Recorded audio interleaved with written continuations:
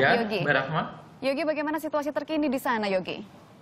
Eh, situasi ya sepi ya, aktivitas nggak terlalu banyak seperti hari biasanya. Terus ditambah juga mungkin masih ada trauma sejak dari kejadian kemarin malam. Dan ya seperti itu sekarang ini. Ya, baik. Yogi, Apalagi- ya. baik. Yogi saat Ya. kejadian Ya, Anda Mas. ada di mana dan sedang melakukan apa? Kalau saya kebetulan eh, tempat tinggal saya saya di apartemen waktu itu. Apartemen saya lokasinya nggak jauh dari Centreville dari pusat kota.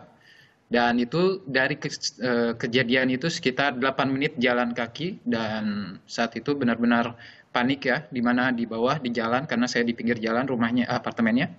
Itu orang-orang berlarian dan mereka lari dengan anak-anak, ada anak-anak, ada orang tua semuanya. Mereka panik ya.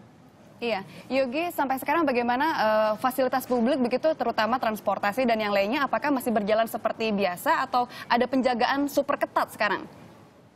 Kalau transportasi eh, khususnya tram, bus eh, segala macam masih berfungsi dengan normal. Hanya saja untuk jalan beberapa ditutup, khususnya di eh, Promenade Dangle ya, karena di sana lokasi kejadian, jadi ditutup sampai saat ini. Apalagi eh, di sana juga ada lokasi untuk konser jazz, eh, Nice Jazz, di sana juga di cancel acaranya, dan banyak juga acara lain yang di cancel juga. Ya. di Nice. Yogi, apakah ada imbauan dari KJRI atau KBRI terhadap WNI yang berada di sana? Eh, himbauan ada, saya menerima dari konsulat dari KJRI.